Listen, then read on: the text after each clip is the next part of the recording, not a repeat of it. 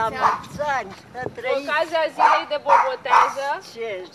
v-am adus o sticlă cu apă Vă sfințită de la mulțumesc, biserică. să trăiți, să Vă veniți dorim și de-al să timp, multă dar nu vă sănătate. găsiți acasă. Bătrânii care nu se puteau deplasa le-au mulțumit cu lacrimi în ochii polițiștilor că s-au gândit și la ei. Nu pot să merg, ce să fac? Cu picioarele acum nu operat. Și în alți ani v-au adus apă?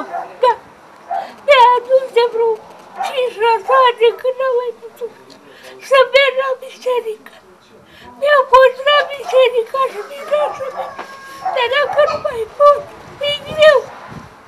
E greu. Pot să merg în ciumag. Nu pot să nu, nu mă duc de mult la biserică, vine părintele acasă. Nu pot să ajung. E bine că v-au adus apă. Eu le mulțumesc frumos să fie sănătos, să mai aducă și pe la altă lume, nu numai mie.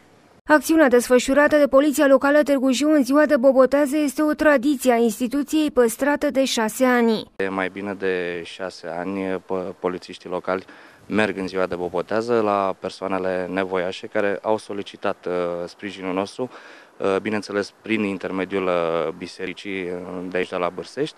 Uh, mergem și aducem uh, apă sfințită um, celor uh, care nu se pot uh, deplasa, au diferite probleme medicale sau uh, uh, legate de vârstă.